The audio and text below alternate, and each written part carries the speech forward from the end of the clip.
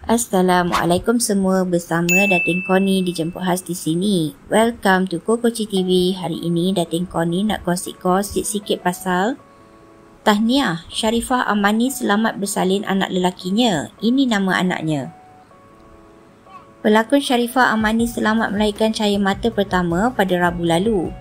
Kabar gembira itu dikongsi sendiri oleh suaminya iaitu Ahmad Faris yang memaklumkan isterinya selamat melahirkan bayi lelaki.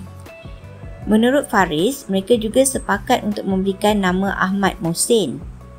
Assalamualaikum, kenalkan anak lelaki kami Ahmad Mohsin Ahmad Faris yang dilahirkan pada 26 Jun 2024, katanya. Faris berkongsi perkara itu menerusi satu hantaran yang dimaknai di Instagram miliknya pada Jumaat. Dalam pada itu, Faris turut memaklumkan isteri dan anaknya berada dalam keadaan baik dan mengucapkan terima kasih kepada semua yang mendoakan agar urusan mereka dipermudahkan. Alhamdulillah, ibu Amani dan bayi baik berada dalam keadaan baik. Terima kasih kepada semua yang telah mendoakan, ujarnya. Pada Februari lalu, Amani atau Sharifah Amani Said Zainal Rashid Al-Yahya 38 memaklumkan dia sudah berbadan dua.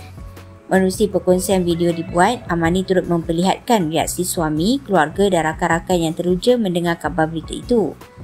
Untuk rekod, Amani mendirikan rumah tangga dengan Faris pada 10 September 2022.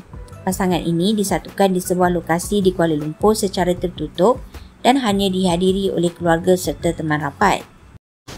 Ya, kejap-kejap. Nak lihat apa seterusnya? Subscribe dulu, okey? Okey, sedikit ya. Janji-janji. Okey.